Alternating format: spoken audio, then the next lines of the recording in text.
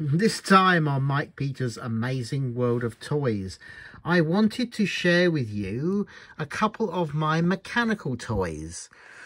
Um, so the first one is a mechanical singing bird.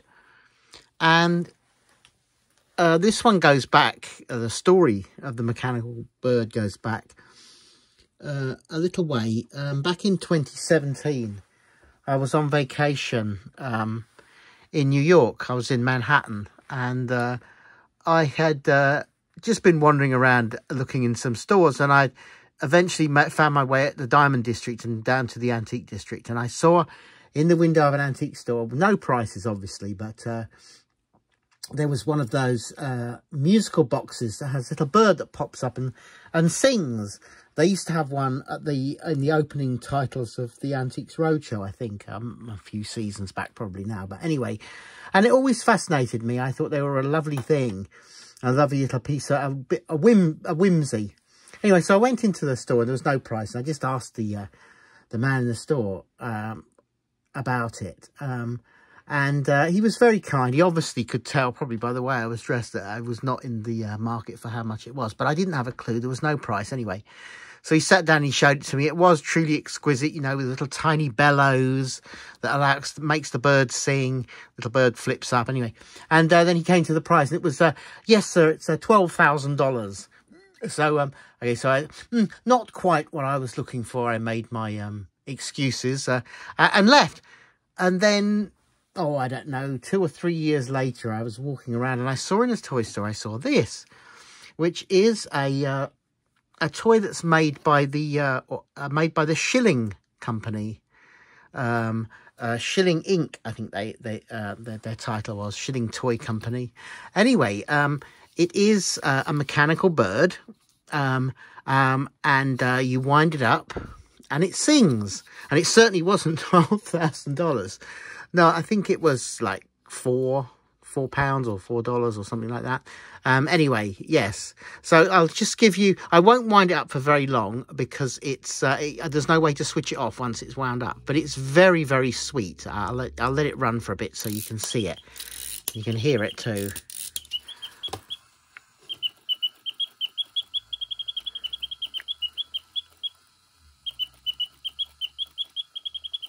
It sounds like a little bird, doesn't it? Singing in its cage. Um, so just like the the antique one, it, it, has exactly the same mechanism. I'm not sure if you could if the camera will be able to focus in on there, uh, but inside under where the little bird is, inside uh, inside the part of the cage in there, underneath, there's a little bellows that makes the bird sing, and it's operated obviously by uh, by the clockwork motor that you wind up and also the move that makes the little movement makes the bird bird move. But I just think, what a lovely little toy. And indeed, the um, Schylling Toy Inc Um, it was cheap, but uh, just before I made this, I, I just had a quick look online, and I think they're selling for forty dollars now. It might be, yeah, imagine. I think it might be because Schylling, the Schylling company changed hands, and now someone else. It was Ben Schilling, I think, or, or, or, or, I'm sorry if I'm getting his name wrong, but um, yeah, Mr. Schilling and his two brothers, I think, um, they were a company out in Boston.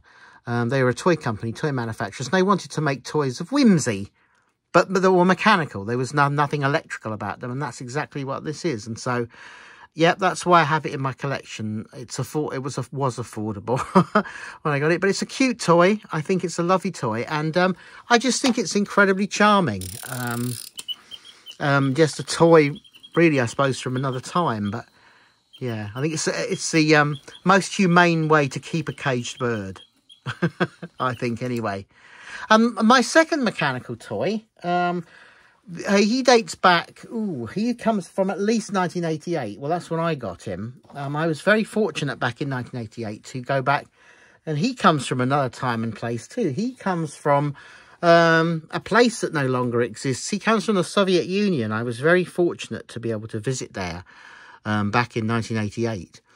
And uh, when I was there, um, it was uh, very different uh, to how it is is now. Um, when I visited Moscow and uh, Leningrad as they were then, St. Petersburg. And um, yes, when I visited, um, being a tourist, there was, um, you had tourist stores called Biryoshkas. And so I call him Biryoshka Bear. He's Biryoshka the Bear. And I love him um, because he's very simple. Uh, you probably saw his mechanism work there, but I, I'll present him to the, he can do his little magic trick for you. And he's hand carved, so you push the button and the ball rises and then boom, it disappears. He's a magician. He's doing a magic trick. But I love his features. He's all hand carved. His face has so much character. I just think he's lovely. So he's Biryoshka the bear. I love him very much too. But his also what I really like about him is his pose. He's got a, such a great pose, the way he's standing. Uh, that he's he's you know you can see that each of those little things he's been hand carved. He's really he's so cute and so simple, but yeah, from a different time and a different place, but uh, a, a vanished time and a vanished place, I should say. But yeah, he's very special too. So I just wanted to share those with you. I just think they're very lovely, charming toys in my collection. So thank you for joining me. Um, keep collecting. Stay safe. Uh, like, subscribe and comment. And I'll see you next time. Bye.